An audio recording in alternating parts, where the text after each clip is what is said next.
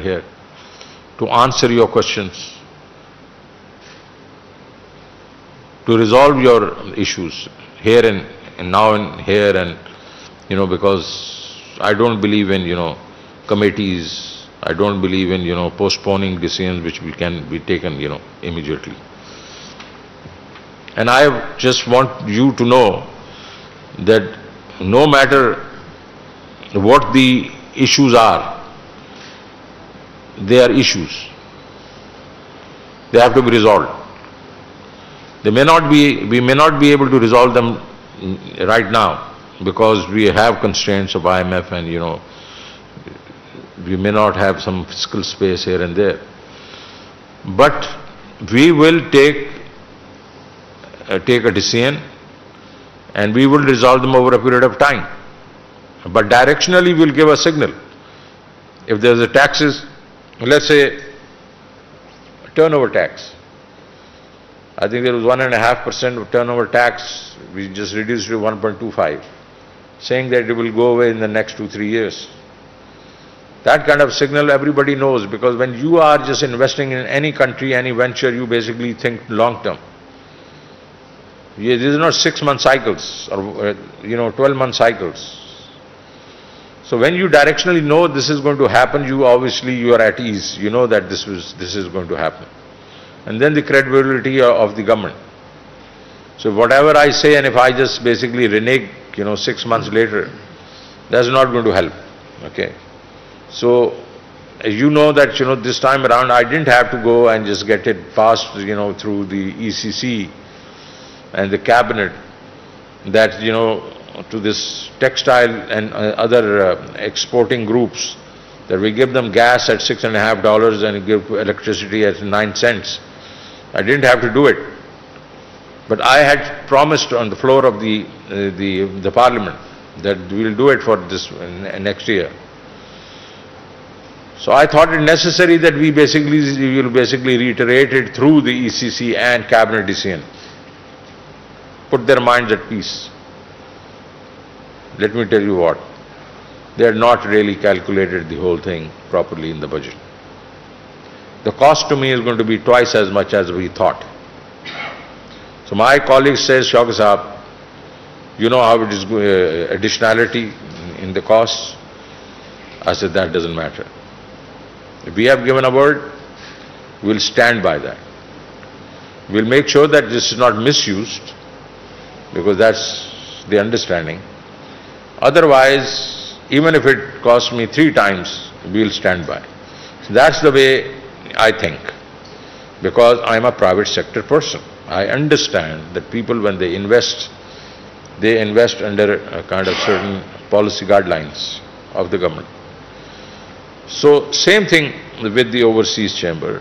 I know that, you know, uh, you guys brought in a lot of, you know, uh, capital and capital has no religion, no geographic boundaries. It will go where it, you know, it is safe, where it makes money. Otherwise it will flow out. And we have seen a lot of capital flowing out of, you know, Pakistan. From the banking sector, pharmaceuticals and some others. And maybe a few of you are still thinking of uh, doing the same thing.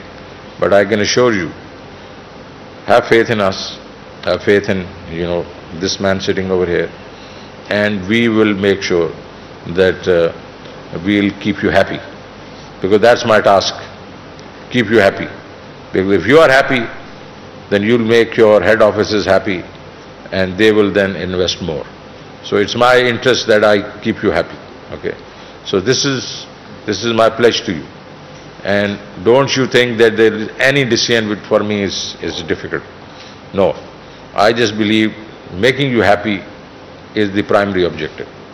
I, I, I understand that there are issues, some of those issues which we can, uh, I can discuss over here uh, later on, uh, and those issues are burning issues. We will we will discuss it, discuss them uh, today. And some of those issues, one is obviously a turnover tax issue, you know, because, and especially OMCs, they have a, you know, turnover tax issues. Their inter uh, corporate dividend, uh, you know, uh, issue which basically was exempted and then ba put back last year and it's basically, it's frankly an IMF conditionality. And I don't believe in that, by the way. I just don't believe in that, you know, it's, it's a regressive tax, you know. Why the hell can't companies, you know, um, offset, you know, tax uh, if they are in, in one, one group. Uh, we'll also be looking at this uh, ruling on mm, WWF, uh, you know, a kind of liability which cannot be adjusted as tax refunds. You know, I've just told the chairman FBR to, to talk to us. There is this question, people are just a bit apprehensive. We talked about point of sale and those machines are not, no, I think you, sh you should rest assured that we are single-minded. What is happening today is that the, to, to achieve the integration, the software which had to be harmonized, there are a lot of other capacity building to be done within uh, FBR, both on, you know, a kind of computing, you know, uh, you know, uh, CPU and uh, disk capacity and then connectivity. So that those things had to be done. Is being done. We believe that we will hit, you know, 70 to 80,000 to 100,000, you know, uh, retailers this this this year, and and move on. So uh, don't worry about that. We, I also believe that there are concerns about few other things. Uh,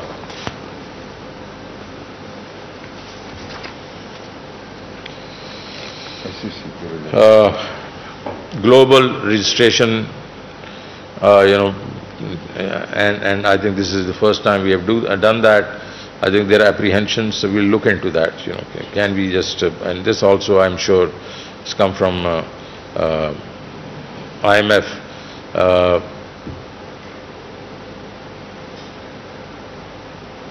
there are certain things about deposit of unpaid dividends and government treasury and etc. etc. We'll take a look at it. I've been just given this, uh, that these are concerns. You also have a problem of attendance on AGM, you know, through video links. Absolutely, why not? So, uh, Chairman SECP is not here, otherwise we could have taken a decision right now. Mm. But we will be taking a decision. So, effectively what I'm saying is that the issues you will raise today and issues you will raise in days to come will be will be uh, accorded the highest priority as far as I'm concerned. So let me talk about, you know, where we are in the economy a little bit before we just open for, for the questions. What we did, you know, last week with the Prime Minister, this is after, you know, one and a half, two months of, you know, exercise. My EAC, which is the Economic Advisory Council, you, you, you are some of you are members of that. They participated and we prepared 14 uh, plans, short, medium, long-term plans of areas like, you know, uh, how to improve the revenues of the government, the power sector, the housing, agriculture, industry, exports, CPEC, IT. There are 14 areas and after 1972, the planning in Pakistan economy was abandoned because we dismantled the Pakistan, uh, the planning commission, now become basically a project approving and implementation, you know, division. And because we did not have, you know, uh, medium, uh, short, medium, long-term plans, we obviously, you know, we had, you know, zigzagging of, you know, policies. So this time around I just involved the government, which means the minister and their deputy minister or so, plus private sector people, so stakeholders.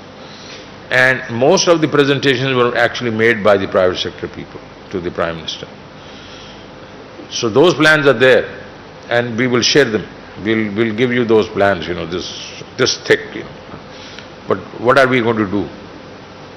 Would they go back, you know, and be sitting on shelves? No. They will be living documents. Every month, the same teams will basically uh, we stand in front of the Prime Minister and say, this is what we promised on a short-term basis, medium and long, this is what we have achieved, and this is what we have not achieved. So this is a kind of review process. You do it all the time in your businesses. Government was not doing it. This was supposed to be done by the Planning Commission. And but as Planning Commission had become redundant, so nobody was doing it. So it was a piecemeal thing, you know, by individual ministries.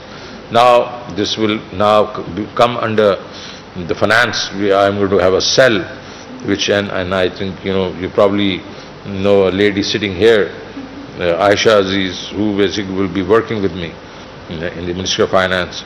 And she is going to coordinate this, but it will be done professionally. People, you know, who are professional, you know, analysts, you know, will take them from PIDE.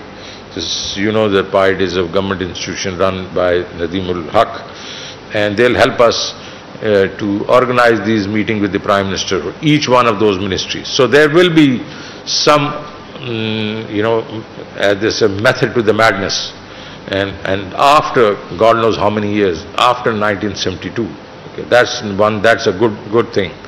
Uh, our revenues are growing well. As I mentioned that, you know, we, uh, I think in the budget speech and later on, that there are uh, two or three things which we are doing. One is that we are um, trying to expand the, uh, the tax base, what we call broadening and where we are using technology. Now we get, got data from various sources, from the electricity bills, telephone bills, you know, uh, uh, deposit data, travel, etc. So we have now, you know, the profile of the customers, unregistered voters also by name. There are 7.2 million, you know, names with the FBR and 1500, uh, 15 million names with uh, with NADRA. They are, they are not talking to each other. And through uh, artificial intelligence and comparing it with uh, the behavior with the, the registered, you know, kind of taxpayers, we have just gone to the unregistered and we can, accuracy of 80 to 90 percent, we can tell uh, people what your income is, level is and how much tax you should pay. 80 to 90 percent. Now, who's going to knock the door? Would the FBR going to knock the door? So what I promised in the budget was the harassment of um, FBR. And I'm, this, this is not casting any aspersions on people who are sitting over here. But generally, there is a perception that there is harassment over there. That, you know, we, they issue notices and, you know, they make life miserable. So, there will be universal self-assessment and there will be third-party audits. Only a fraction, maybe 2 or 3 percent or whatever the FBR says risk-based that this guy has not declared, you know, majority of the income, it will be given to a third party, you know, which means from ICAP we'll take, you know, maybe 50, 100, you know, people and only then they will, you know, just uh, interface with the taxpayer, which means FBR is out, all told. Similar thing for broadening, there will be a knock. A knock is going to be maybe a text message which comes and says, Mr. Tareen, this is what you know, you by the way are not a taxpayer, registered taxpayer. This is what your income is. This is the tax you have to pay. Please deposit the tax. It will be in your interest to deposit the tax. Maybe another reminder.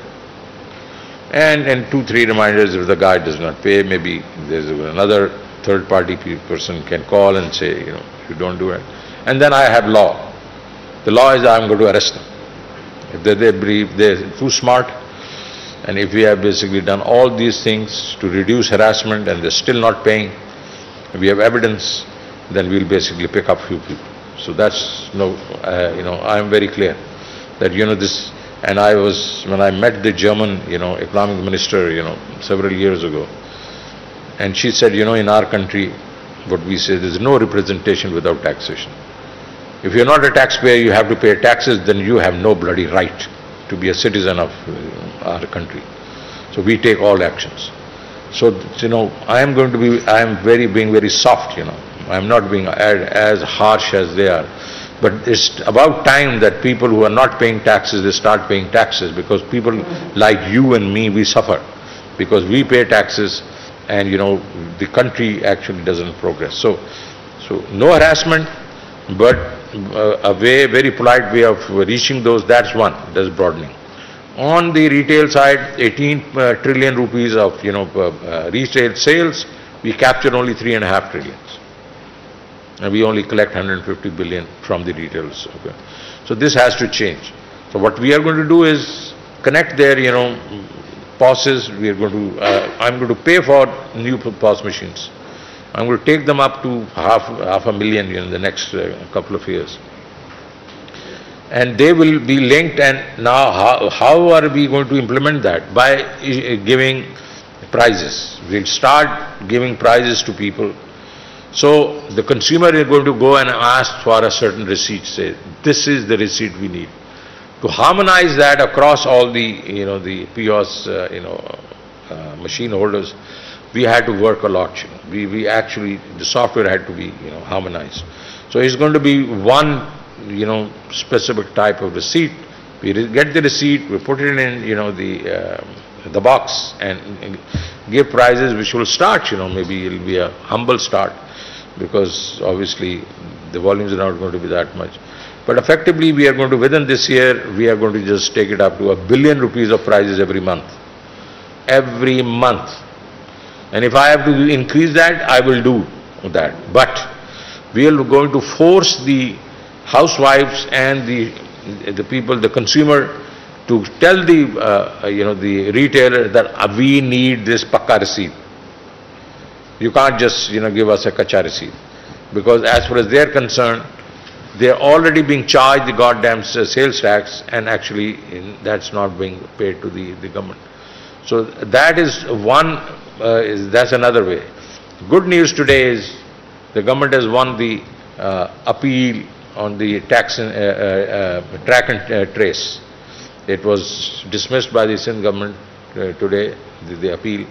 So we are going to implement that and, and on some industries where we believe there's a lot of theft.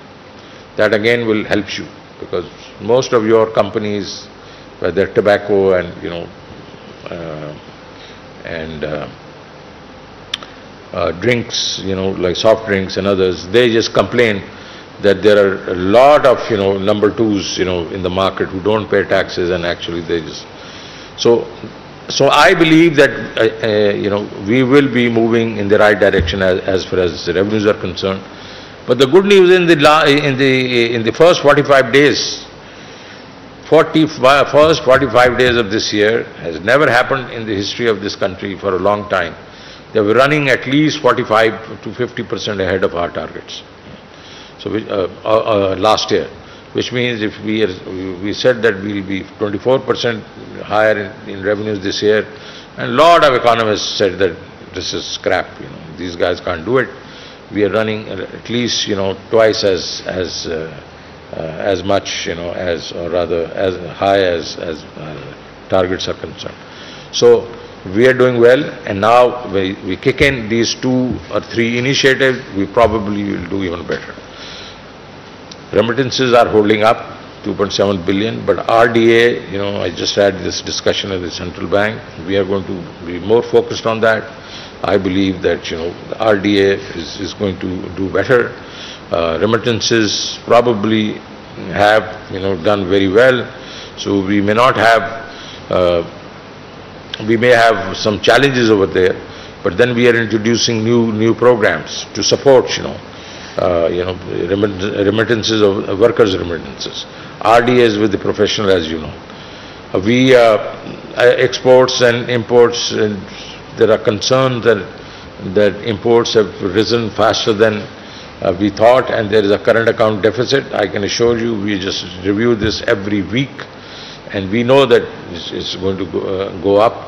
Uh, but it will not go beyond two, two and a half percent, you know, of GDP and we have made arrangements because the exports will take a little time to, to just start growing. But you have just realized that, you know, I just, I, I, I when I met the IT people, They came for a 3 billion rupee kind of uh, help and I gave them 13 billion rupees. And they actually could not believe it. Because that's one area I believe is going to grow faster than the rest of the industry, uh, the exporting industry, which means they are growing at 47 percent and this time they are going to, they are going to grow by 75 percent. I want them to grow by 100 percent. If they keep growing 100% in five, six years' time, we, our IT exports are going to be $60 billion. It's not something which has not been done. I mean, in India, the first billion was 2000 and the, in 2010 they crossed 100 billion. So my point is that they've done it, we can do also do it. But focused approach, what they need, you know, they should get, and we are going to do that. I believe that power sector, energy sector is our Achilles heel. I believe that, that, that we have to fix it. So we are trying to fix it uh, because we, these problems you're not uh, doing of this government. If there has been excess capacity which has been built and we basically have to consume that excess capacity which will take time. So five to seven years probably will take, you know, it will take us to just use this capacity which is increasing even now because there are projects that have been started, we just can't stop them in, in midway. So there will be uh, uh, a time lag on that and there will be some, uh, you know, strain on us. So all we have to do is five to seven years we have to get some reprieve. How do we do that? We just got in the IPPs 850 billion rupees. We have to do it with the others. And also, we have to start thinking, you know, total power sector, energy sector. Built in a lot of, you know, new electricity, nobody, you know, paid, uh, you know, attention on, on transmission. Today your transmission limitation is 24,000 uh, megawatts. So I, I believe that uh, we have to now start uh, investing, you know, in, in, and I think the energy ministry is, is, is, doing all it can, you know, which means Hamad Raza, Azhar and, and, and co, they're working day and night to, to uh, to take care of you know uh, uh, these issues. And uh, I have confidence that in the next few months you will see that policy decisions will be taken that this this uh, problem of ours you know is is taken care of the two other issues I'd like to invest uh, I mean talk about you know I, I know that you know about agri what we are doing with the agriculture and what we are doing in industry the raw materials, you know, we, we reduce duties, etc. We are just giving incentives for value addition. But the two issues, one is inflation, and it, it really affects everybody. And inflation is mostly food inflation. If you see that our uh, core inflation is around 7%, you know, 6.95, it has stayed there for many, many months now. It is the food inflation Food inflation mostly is coming out of international prices because we are a net importer of food now. And so whatever is the international price, we have to actually, you know, our local prices have to mirror those. Now, there, but there are issues, uh, issues uh, locally also. Because we have not paid attention to the agriculture sector, our production in different things, you know, has basically lagged behind. And, you know, today, we 70% of our, you know, our uh, lentils are being imported. Can you imagine, you know, in Pakistan, which is a stable diet, and they're being imported. So, so we have to not only increase production, but we also have to remove, you know, all those, you know, avenues where the holders, people who just exploit, you know, the uh, consumers, they, they are removed the farmer to, to the retail, you know, uh, kind of uh, price gap is runs into three, four, five hundred percent. Onion, you know, farmer gets four rupees a kilo in, in Jacobabad and when the wholesaler sells it 20 rupees and the retailer gets it at 30 rupees. So this is, this is not on. What the hell is going on? transportation cost cannot be 400% or 200% or 300%. So we are looking at, you know, how to, you know, control these. One could be administrative measures, but the other is the market measures. So I've just uh, said that we'll basically, for some of these, uh, you know, uh, staple, you know, uh, items, we will have strategic reserves. We will basically fight market with market. So if they just exploit the market, we'll flood the market in those areas, you know, with lower price, you know, goods. And, and we can only do it for five, six, six, seven items, um, and we'll do it and try to just tell the, uh, the middleman that you cannot get away with murder. That is one. But end of the day, we have to build, you know, permanent infrastructure. Uh, Your uh, commodity warehousing, your cold storages, agri malls, bringing the farmer and the, and the wholesaler, retailer, uh, you know, at one place. All those things, like in the agri mall, we are building 5,000 of them this year, and we're going to just multiply in the next few years. And that will, you know, the eventual way of handling this kind of, but this is, this issue is here, it is coming down. We saw inflation at 8.4 percent, you know, last month. We probably will see it coming down slowly, but out of that, you know, 8.4 8.4 or 8.7, it is mo- mostly it is food inflation, okay? And frankly, uh, somebody, some people told me, you know, you just basically, how about uh, reducing discount rate? I said discount rate, you know, is the prerogative of the Central Bank of Pakistan, State Bank of Pakistan, but actually goes with core inflation. So I mean, core inflation is 7%, so uh, our rate is 7%. I think they have been pretty accommodative. Uh, Then there's another uh, big uh, program coming up, which is the Kamyab Pakistan program. This is the first time we are going to be attacking the poverty at the, at the grassroots level in an organized manner. And we are not going to wait for the trickle down. Trickle down will happen as our econom- economy will grow probably 5% this year and, and, and, and 6% next year. But this program, which is well publicized, we are going to hopefully launch, you know, um, the first, first, I think, phase by, by uh, early next month. Uh, And that will also boost the income levels of our, uh, our, uh, you know, people in the lower uh, income groups. And it's a natural uh, transition from what we have done through Ehsaas, BISP, the handouts. Handouts are good, they help the people, you know, for the time being. They're not good in the long run, neither for them nor for the country. So we have to now make them productive. We have to give them, you know, the, uh, as they say, the means to catch the fish, not just give them the fish. So this is the, a major step forward. And you will see that the, the income levels of, you know, people, you know, at the, the bottom, you know, 25, 30 percent of the population will grow. So, so prosperity in this country will be, you know, that much higher. So, on the growths, where are we heading?